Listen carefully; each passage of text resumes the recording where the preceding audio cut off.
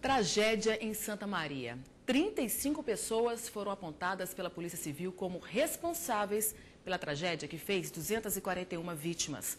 Algumas vão responder por crimes como homicídio e outras na esfera civil. O inquérito policial com mais de 13 mil páginas indiciou criminalmente 16 pessoas.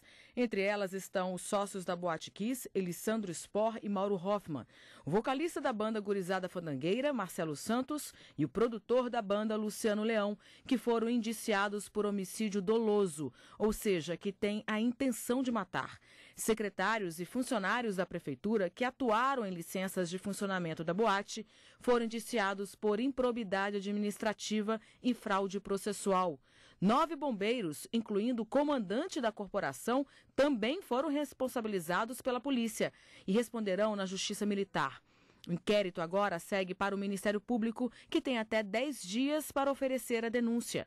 Por possuir foro privilegiado, o prefeito de Santa Maria, César Schimmer, não pôde ser indiciado e a Polícia Civil vai encaminhar cópia do inquérito para o Tribunal de Justiça do Estado.